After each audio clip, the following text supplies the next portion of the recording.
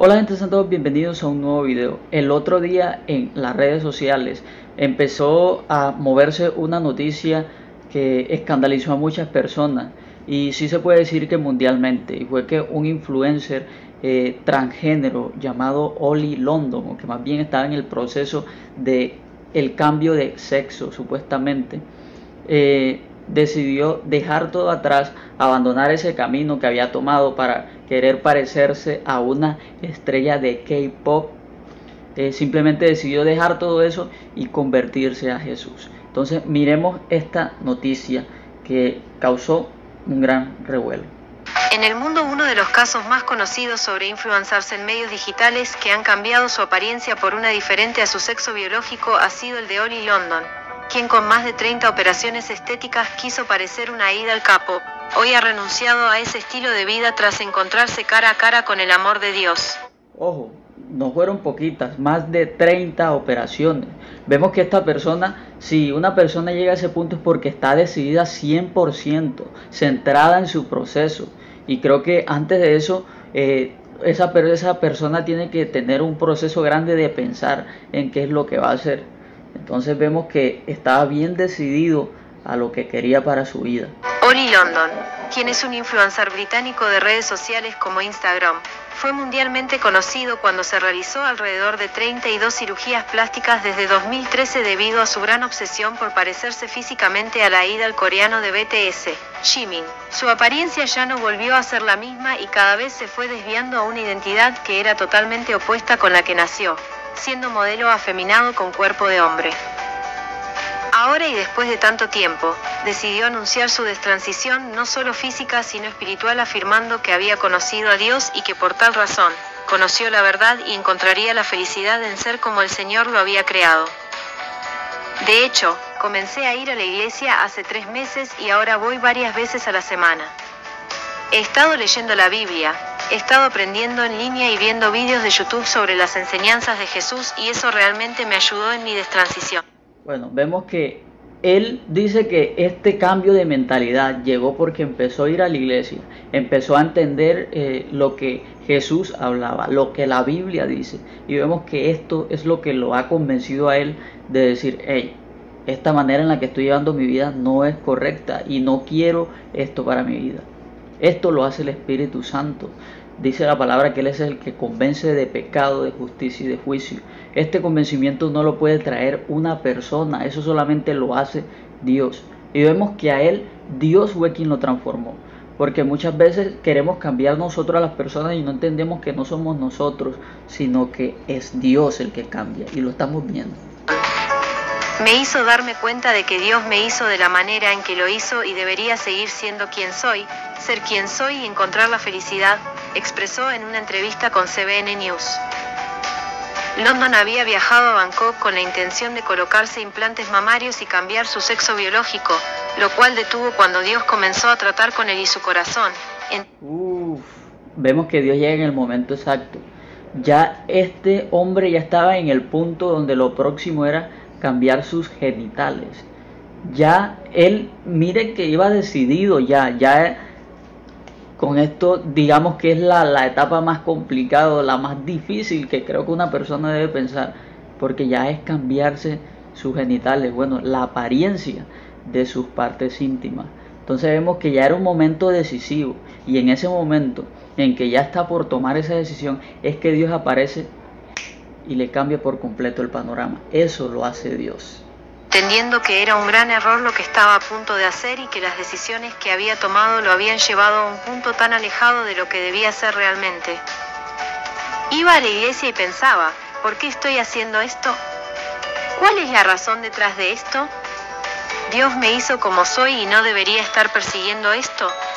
Wow, tremendo el convencimiento que trae, que trae el Espíritu Santo. Él se preguntaba, ¿por qué realmente estoy haciendo esto? ¿Cuál es la razón que hay detrás? Entonces él empezó a preguntarse por qué razón, o sea, qué lo incitaba a él a hacer esas cosas. Y él reconoce que esas son cosas que el hombre no debería estar persiguiendo. Y que si lo hace es porque hay algo detrás que está causando eso. Miren el convencimiento que no fue que una persona le tuvo que decir, esto está mal, te vas a ir al infierno y nada de eso. Dios mismo la palabra. Por eso hay que dar la palabra. Ella va a hacer lo que tiene que hacer. Dios dice que Él envía la palabra y no vuelve vacía. Ella hace lo que Dios le mandó hacer. Está bien, expresó. Tan solo seis meses después de haber vivido como mujer, se encontraba en el punto firme de querer vivir como hombre.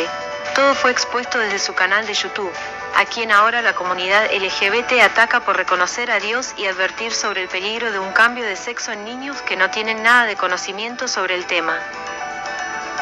Estaba experimentando disforia de género y habría arruinado mi vida y sido muy infeliz, dijo en la entrevista, siendo este una de las figuras LGBT más reconocidas que ahora forma parte de quienes han decidido destransicionar para hablar sobre la verdad de ese proceso. Casi siento que el lobby trans se ha convertido en un culto. Dejé la comunidad trans y de repente me atacan. Tratan de deshumanizarme. Me insultan en línea, me comparan con algunas personas horribles. Vi un tuit que me comparaba con Hitler, pero sabes que lo ignoro y no le presto atención al odio, afirmó. Ahora, está enfocado en mostrarles a otros desde su experiencia sobre los efectos terribles de un tratamiento transgénero en menores y que todos conozcan que Dios los hizo naturalmente de una forma perfecta. Solo quiero hablar porque hay muchas personas que están confundidas acerca de quiénes son. Solo quiero que las personas sean de la forma en que nacen, de la forma en que Dios quiso, dijo. Los niños no deberían estar en transición. Eso es algo tremendo que es cierto está pasando. Muchos padres que empiezan a incitarle o a tratar de meterle estos pensamientos a los pequeños cuando están niños aún. Y padres que sí se han conocido casos de padres que han iniciado una transición en sus hijos para cambiarlo de género, para cambiarle de apariencia física, siendo el niño solamente eso, un niño. Y esas son cosas que tristemente pasan, es una realidad. Y miren que eso pasa y no se levanta la gente, no se levanta ese montón de personas que quieren ser libres y decidir por ellos mismos, no se levantan a favor de los derechos de esos niños que no están decidiendo por ellos. Entonces creo que hay un poco de doble moral en eso. Y aunque sabe de primera mano que la decisión que ha tomado no es fácil, asegura que es Dios quien lo está guiando, y ese mismo pensamiento y sentir lo comparte en todas sus redes sociales colocando al Señor primero. El cambio no siempre es fácil.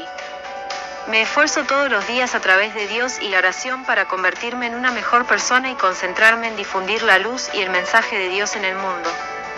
Todo lleva tiempo. Por favor, denme la oportunidad de reformarme y ser una mejor persona. Wow, creo que esto es muy importante. Y es que él dice, me esfuerzo todos los días a través de Dios y la oración. Y eso es lo que debemos hacer con cualquier debilidad, cualquier pecado en el que estemos cayendo. Es a través de Dios y la oración y nuestro esfuerzo diario que podremos vencer esas cosas. Y otra frase que él dice, todo lleva su tiempo. Denme la oportunidad de reformarme y ser una mejor persona. Todo cambio va a llevar su tiempo, pero es a través de la búsqueda de Dios, a través de la oración, de leer su palabra, que Dios nos va perfeccionando, nos va transicionando nuestra forma de pensar, nuestra mente renovada y entonces estaremos listos para llevar y difundir el mensaje de luz, el mensaje de Dios al mundo entero. Verdaderamente que este testimonio es muy impactante y vemos que para Dios no hay nada imposible. Estamos hablando de una de las figuras LGBT que era más influyente mundialmente. Y vemos cómo Dios llega, cómo Dios transforma, cómo Dios cambia. Es Dios, es su Espíritu Santo, es la palabra la que nos limpia, la que nos redarguye, nos hace reconocer nuestros errores y nos hace querer a volver, la luz, volver a la luz de Cristo, a la luz del Evangelio. Entonces espero que esta noticia te haya hecho saber que Dios sigue obrando, Dios sigue transformando y el Evangelio se sigue expandiendo. Si este video te gustó, deja tu opinión en los comentarios, compártelo con cualquier persona que tú sepas que le pueda hacer de ayuda este mensaje. Mi nombre es Wilton Martínez. Sin más que decir, nos estamos viendo con otro video nuevamente por aquí. Que Dios te bendiga.